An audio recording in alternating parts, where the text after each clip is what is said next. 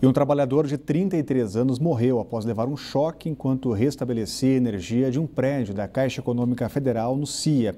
O acidente aconteceu por volta das 11 horas da noite desta quinta-feira. O Corpo de Bombeiros tentou reanimá-lo por mais de uma hora. A suspeita é de que ele tenha tocado no barramento do quadro geral de energia do prédio. O homem usava equipamento de segurança e estava acompanhado de outro funcionário que nada sofreu. A Polícia Civil investiga o caso. E o Distrito Federal teve 19.957 casos confirmados de dengue desde o início deste ano. Desse total, 17.843 são residentes do DF e 2.114 de outras unidades da federação. Foram, foram, identificados no ano 998 casos de Zika. A saúde também reconheceu 42 gestantes infectadas pelo Zika.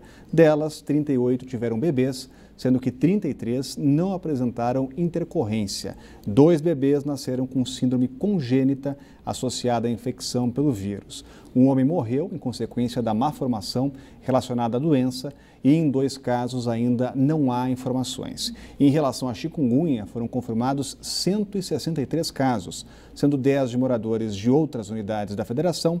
Também houve um óbito causado pela febre no DF.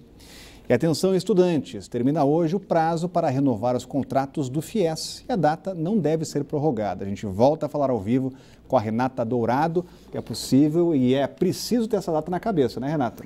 É muito importante, Rodrigo, porque o aluno que não renovar o contrato, ele vai ter o contrato cancelado. Imagine você a dor de cabeça, né? Então é muito importante realmente fazer essa renovação. É algo muito simples de se fazer, algo em torno de um milhão e meio de estudantes ainda precisam fazer essa renovação, claro que em todo o Brasil. Isso significa 3% dos estudantes que fazem parte do FIES. Então o que, que o estudante tem que fazer? Ele vai lá entrar na página do FIES, que é CIS fiesaluno.mec.br fiesaluno.mec.gov.br. Esse endereço está aí na sua tela. Ele vai lá, busca o contrato dele. Se todas as informações estiverem corretas, ele vai e valida. Ok, ele tem até as 11 horas e 59 minutos para fazer isso. No entanto, se tiver que modificar alguma informação, como um endereço, o próprio fiador também, se tiver qualquer modificação, aí é um pouco mais complicado. Ele precisa é, fazer essa atualização na página, mas ele tem que ir até a faculdade dele para pegar um documento. E isso tem que ser feito hoje. E isso tem que ser feito hoje, preste atenção.